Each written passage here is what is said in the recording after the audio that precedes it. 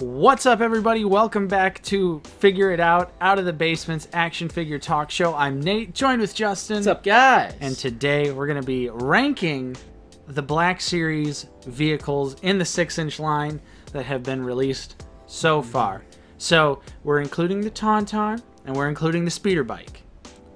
And this goes all the way up to the Snow Speeder, which was just recently released. And if you haven't checked out my review, check it out. Yep. It's a doozy. Yep. We both have it. There's actually one right below. It's kind of hard to You see. You can kind of see it right here. It just doesn't fit in the frame, but it's there. So just imagine the awesome, massive snow speeder right there. We gotta get some fake snow. We need to go to Hobby Lobby. Yeah, or Michaels or something. Get some good snow going. We're also going to be discussing some Black Series rumors as well. So let's just jump right into it, Justin. The rumors are from our favorite Black Series news source. Yakface.com. So, of course, in Walmart.com's system, there was some new coded Black Series figures. Now, we have a conspiracy. Mm-hmm. Although, according to Yakface, this conspiracy is incorrect. Right. But it's fun. But it's still fun to discuss. Um, so basically, the new coded figures, there's five figures, and it's SWBL Wisconsin, Virginia, Indiana, Illinois, and Florida. Now, Justin was doing some thinking earlier. Sometimes I think. Not too hard, I hope. Now, I came up with a little conspiracy that this is the Bad Batch. Someone had commented on there, like, oh, is, is this the Bad Batch? Because there's five members at the end, including Echo, and there's five states. And one of these states are ours, our state. Yep. So I was- Indiana. I was, thinking, Indiana, the crossroads of America. That's like our slogan or whatever. I don't know, like, slow motto, state motto or something. Beat- beats me. Crossroads of America. So I was thinking Crossroads. Crosshair. I think it's similar enough. If this was the Bad Batch, that Indiana Crossroads of America, Crosshair is a member of the Bad Batch. And then I was thinking about the other states. One of them is Virginia, so I was thinking Virginia Tech. I'm not familiar with the NCAA, college football, or anything like that, but I know in some college sport that's like a big school or at least i've heard of it plenty of times so i'm guessing it's one of the biggest colleges in virginia So i was thinking virginia tech tech and then i was like after that one i was like okay this has to be right crossroads crosshair virginia tech tech yep. so that leaves Wisconsin, Illinois, and Florida. So I was like thinking like Florida, oranges. Wisconsin has cheese. Wow. I, I was like I was looking up the like state birds, like the state bird of Wisconsin is apparently a cardinal and nothing I was getting nothing. I was getting no other ideas because I know like the University of Wisconsin is Wisconsin Badgers. I was thinking Illinois, land of Lincoln, like nothing was popping out to me. So if you guys know how the other which it's Hunter, Wrecker Wrecker, and Echo. and Echo. If you guys know how that fits with Wisconsin, Florida, and Illinois, comment down below. I just thought it was a neat little thing to talk about because Virginia Tech, Indiana, Crossroads of America, Crosshair. I don't know. Exactly. Which we I guess we could briefly mention, even though we mostly talk about action figures on here, the Bad Batch show that was also mm-hmm. announced. So that kind of also put that idea in my head. It's like, okay, we got these rumors, and then a couple days later, Bad Batch is getting their own series on Yeah. Disney Plus, Yeah. which is apparently somewhat taking place post Order 66. How does that work? Do they not have inhibitor chips? Because they're the Bad Batch? I don't know. I'm sure they'll explain it. Yeah. Guaranteed. But that's pretty cool, though. I'm actually pretty excited. Yeah, um, I enjoy it. I enjoyed that arc. In terms of like the next Star Wars animated series, I kind of would have liked if they went something Old Republic related. That was my hope. Ever since Clone Wars and Rebels. I was like, it makes sense now that, and they did Resistance as well. I was like, the next logical step would be to like go way back. Mm-hmm. But nonetheless, it's more clone content, so I'm down for it. Right. So now, on to the main topic of the show. We're going to be ranking all of the Star Wars The Black Series 6 inch vehicles, including the Tauntaun and Speeder, which are technically deluxe figures, Right. but they're vehicles. So like the Wampa is not going to be included, even though that was like sort of the same assortment.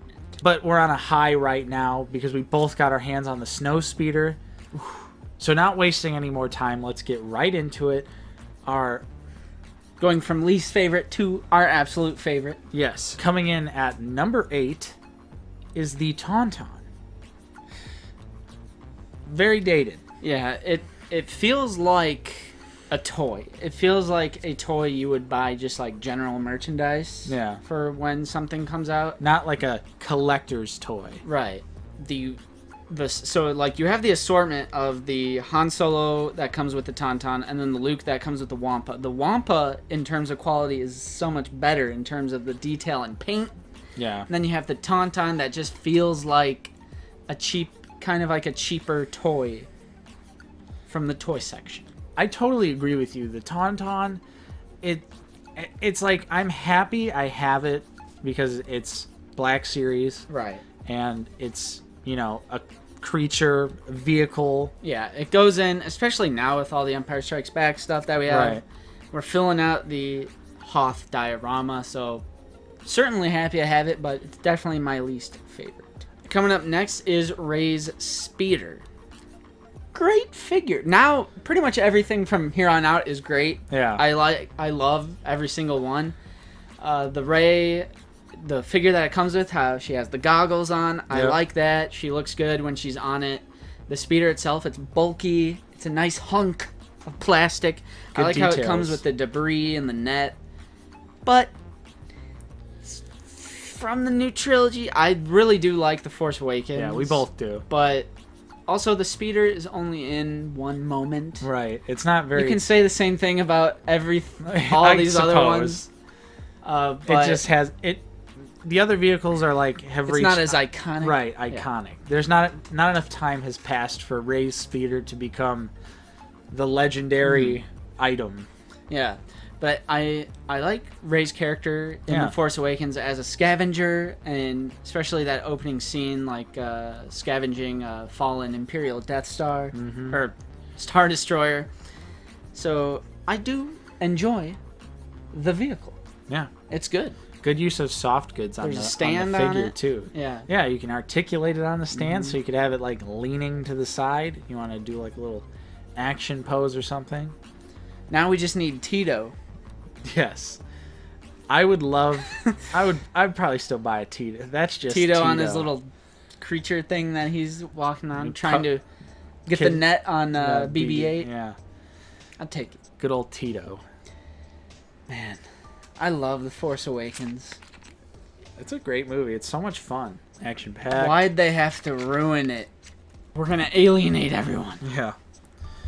We have different opinions, guys. Coming in at number six is the Enfys Nest Swoop Bike. Now this is one I don't have, True, and I picked it up I on clearance. so that already kind of said something. yeah. Well, to be fair, I picked up. We both picked up most of these on clearance. I've only paid full price for two vehicles. All the rest of them, I've paid significantly less for. all right, all right, fair enough.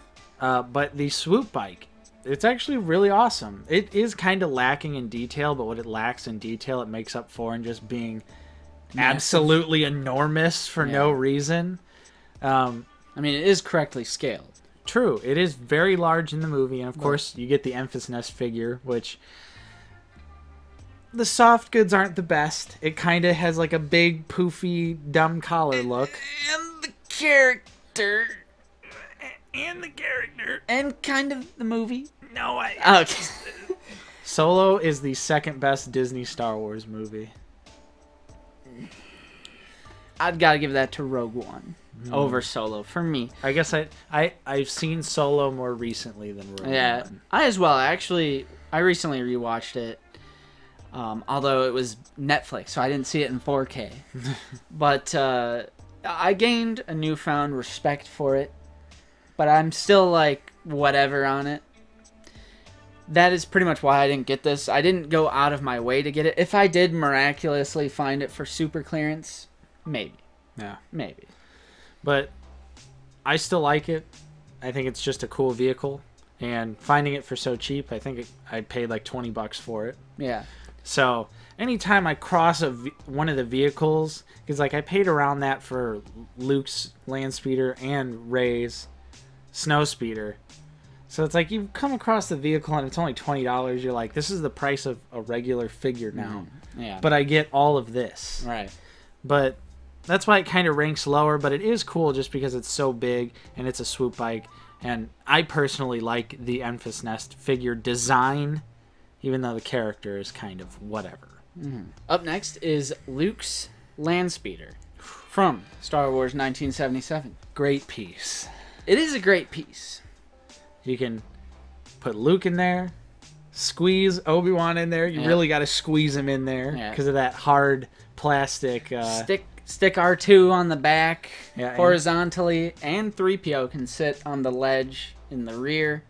Get your sand troopers, get your dewback. You could have a nice little move along diorama. Yep. And you can also pop the hood open, Yeah. And Luke comes with that poncho and the hat and the long rifle from the deleted scenes, I believe. Well, he has the the long rifle. Well, I mean the the poncho and the hat. Oh, I the think poncho and the hat. Yeah. yeah. which are great. You could use the poncho, and personally, I put mine on Qui Gon Jinn because it kind of looks like mm-hmm. Qui Gon's poncho. The land speeder also has some really great details too, in the hood and the back panel that comes off. I always have a Jawa pose next to mine, looking like he's running up to tinker with it or something. It's a great piece. Yeah, excellent diorama potential. It's just a no-brainer. Yeah. Now we're getting into the no-brainer category. true, Luke's land speeder, that's a no-brainer. absolutely. What is up next? It's the biker scout with the speeder. Great piece, great clearance memory. Great figure. Yeah. That was the only time. That was the only way you could get the Scout Trooper, one of the most iconic Yep. Stormtrooper designs. And it was The Scout Trooper. locked in a vehicle Yeah. set. But the vehicle is great. There's some like scrapes on it. There's some battle damage. Mm-hmm. You could peg the feet into the pedals. You could have them holding the handlebars. He's got the flight stand that Yeah. you can turn it, but it usually gets too heavy and it Right. topples over. So They made the attempt. they they tried, but w- once you factor in the weight of the Mm-hmm. figure, it's like, eh, Which, which this is what I meant by earlier when I was like, it's only in one part. right. like you speeder can bike. say that about a lot of things. the dewback. Although now in the Mandalorian, we have. True. Although I'm sure it's a different model of Imperial speeder bike. It's a different color. They're more so like mercenaries. Yeah, it's like darker. I think it's black. it's like it's like light it lighter? gray. It's like uh, light Oh, gray. oh. You know, we have Ewoks coming in the Black Series. You know they're not just gonna do Teebo. So True. Or it would be awesome if they released like Leia with the speeder or Yeah. on or an Endor Luke with the speeder. yeah. Up next is gonna be the First Order Tie Fighter. Ooh. Got this on a discount. I don't have this one. Yeah, you don't have this one. I picked it up in one of our vlogs when we went to Kokomo Toys and Collectibles. Yeah. It's massive. It's the largest vehicle that they've produced in the six inch line so far. It's probably as big as they'll ever go. Mm-hmm. Would probably be my number one if it wasn't First Order. And I, I hate to sound like a Star Wars purist, Right. but when it comes to collector items, I would rather have it exactly how I want it. And I would rather just have original trilogy. I would rather have an original trilogy TIE fighter. Because the First Order TIE fighter, it's actually the opposite paint scheme. Because remember when I said I was a little tempted to pa- paint it? I actually looked and it's pretty different. Hmm. So the First Order TIE fighter, the base, like the ball, is black and then the sides are gray. Well, the Imperial one, the base is gray and the sides are black. So hmm. it's like opposite. And then with the First Order one, you have that red yeah. Uh, because it's from The Force Awakens, which, granted, it's from the Force Awakens, and I really like the Force Awakens, but our what I would call severe disappointment in the Last Jedi and Rise of Skywalker. I'm kind of just soured. I'm like I'm I'm not one of those guys Right. because I if you like the new stuff, I respect it. Yep. I respect it. It's I- it's and- called having different opinions about movies and not getting upset about it, it. it's we're not toxic about it. We're Yeah. not, you know, going on the actors' Instagram pages and harassing them as if they had anything to do with anything. Because Right. we're not directing that hatred at anyone besides the movie. right. The finished product. Yes. Because obviously we know people worked hard on it. We just didn't like it. Yep. And that's fine. But it's massive. The there's like a turret thing on the bottom that you can spin around. The cockpit opens. You could stick the pilot in there, or Finn and Poe if you have those figures. That's cool Yep. because it does have the two seats. Has the window where you can see the pilot in it. Other than that, not much customizable stuff compared to something that comes later. True. You probably already know what it is. Right. But that's why it's a few pegs down. Wish it was Imperial. But still pretty huge. Very satisfying to look at. Yeah. I'm honestly surprised though that Hasbro hasn't just given us a repaint essentially Right. because I think it would sell if it was the original Imperial Tie Fighter. Coming in at number two is a borderline masterpiece. There's At only one thing I don't like about this. the vehicle part, I would say, is masterpiece. Absolutely. We're talking about the dewback. Now, the part that's not a masterpiece is that shitty candy plastic stormtrooper, sand trooper that they Yeah. that they included with it. That's made out of like the world's cheapest garbage It, it- plastic. it looks like cake. Yeah, It looks like cake material. I'll never get over that sand trooper. yeah, Because take a look at the orange, white, or black pauldron sand trooper. Look at the overall quality of the plastic and the paint. Not even to mention the horrible paint mm-hmm. of the doo doo troop yeah. that comes with the dewback. I hate that figure, but it does come with the stick, the yeah. electricity poking thing, so that's cool. And obviously the dewback, super iconic from Star Wars 77. I love the Tatooine scene. I love sand troopers. I just love the aesthetic of troops that have just been out in the mud, in the sand, in the dirt. Yep. They're doing their job for the Empire and they're getting dirty. Yeah.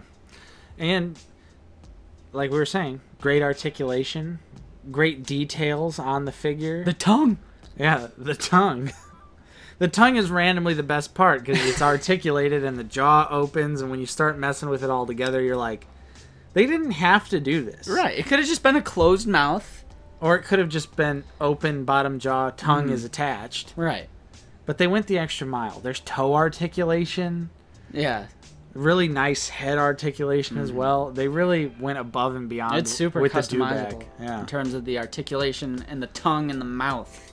Wish I would have got more than one. I think I'm satisfied with the one just for spatial issues. Well, yeah, of course. but I which- would I, I would say the reason I wouldn't argue it for a number one is the figure that it comes with. Hmm. Is just. Yeah. it's Yeah, it holds it back. it does hold it back just a slight peg. A Although- slight peg. Although it is nice because I wouldn't want to bow my the legs on one of my good sand troopers, so I keep the shitty one up there because I'm sure he has bowed legs at this point from Right. being posed around it. True. So you could be wasted on that one. But Jarick, there's only one vehicle left. You guys know what it is. This is something that I actually geeked out over. Like I can say I was actually playing with this. Uh-huh. you check out our Instagram. this is of course the snowspeeder from the Empire Strikes Back that comes with Dak Ralter. Mm-hmm. He's on the Luke body, new head, new helmet, well different paint on the helmet. Different belt. Yeah, different there's some different details on the body as They well. they didn't wedge him where Wedge has a lightsaber clip on his X-wing Yeah. costume. The, such a great idea. It's something we actually complained about with the Hoth Luke that it didn't come with. I we literally said this Yeah. exactly what it comes with. We said he should have came with the ion grenades that he uses to throw in the AT-AT's underbelly, and then we also said he should come with like the harpoon grappling gun. yeah. And the snow speeder comes with both of those things. Two of the ion charges, weapon storage Yep. on the ion charges, and the grappling gun. Hoth Luke and Dak both fit in there perfectly. There's so many customizable things. The cockpit opens, super detailed on the inside. You got the turret, you got the flaps. You have like four flaps. You have two on the top, two on the bottom. You have the gun blaster thing that comes off, and you could it exposes like the mold on the inside, like the wiring, and Yep. so you could have Tow like cable. yeah, tow cable with the string, and there's like a compartment that you can pull the string to retract it. There's the three different landing gear things. All the details inside the cockpit. Yeah, the paint. the tar- I loved specifically looking in the back of Dak's and seeing the targeting system panel, Right. and I just like seeing those those dots, just like the targeting systems of Star Wars have always been so iconic, so it was really awesome to see that little panel. I was just like, man, that is a great detail. But yeah, on the outside, tons of great battle damaged Yeah. looking paint apps as well. Both of ours have the correct Z's Yep. on the cockpit. We both got correct Z's, so I was happy for that. I was a little Yeah. worried, but there's scuffs, there's battle damage, there's like paint. Right. And I said this in my review, but it's great that something like this comes with Dak. Mm-hmm. Because, you know, you wouldn't necessarily go run out to the store and go, oh boy, I gotta get that Dak figure Right. for 20 whole dollars. Which you know I would. Well, I, I don't know. I got Wedge on a discount. I So you wouldn't get like a Porkins? No, bro? I'd get, dude. I hope if they make an X-wing that the the pilot that comes with it is Porkins. I'm down. Like, And this is just proof that we need an X-wing. yeah, I it'll, think it'll be more. It'll obviously be bigger. This is one. These are the T-47 snow speeders. Are one of the smaller ships in the original trilogy. But this piece is also huge. Just like if I pick it up from right here, it is literally blocking the entire view of the camera. That's how absolutely massive this this speeder is. And it was worth every penny. Some people were complaining about the price. I think once we've seen the details and obviously the inclusion of a Dak figure, it makes sense. And I think this is worth it. And I think buying something like this and supporting it is how we're going to get more mm-hmm. vehicles. Maybe fast track the X Wing. Also, could lead into other things like. Like we've, A-wing, like we've said on the channel, A Wings or diorama pieces. Millennium Falcon cockpit. Right. Jabba's palace. Size up the vintage collection version to a six inch one. Ooh, I'd love it if they would do that with the troop transport from the Mandalorian. Yeah. So those were our vehicle rankings. Eight to one. Snow Speeder's the best. How would you rank the vehicles? Which one's your favorite? Have you picked up the Snow Speeder yet? We recommend it. It's an essential Absolutely. piece. It's big. It's really big. I don't. Where did you put yours? It's on top of my Detolf shelf. Nice. Right, find a spot for it somewhere. Right now, my snow speeder, the home is the table. the home is the table for the moment. I'm reorganizing my collection though, and I'm actually going to be releasing a collection video very soon. My first ever Black Series collection video on this channel. But I'm rearranging my collection. So there you go. So, anyways, hopefully you guys enjoyed this episode. If you did, don't forget to leave a like, subscribe if you're new. We're always talking about Star Wars The Black Series on the channel. Of course, I'm Nate, joined with Justin. See you guys later. We'll see you guys next time on Out of the Basement.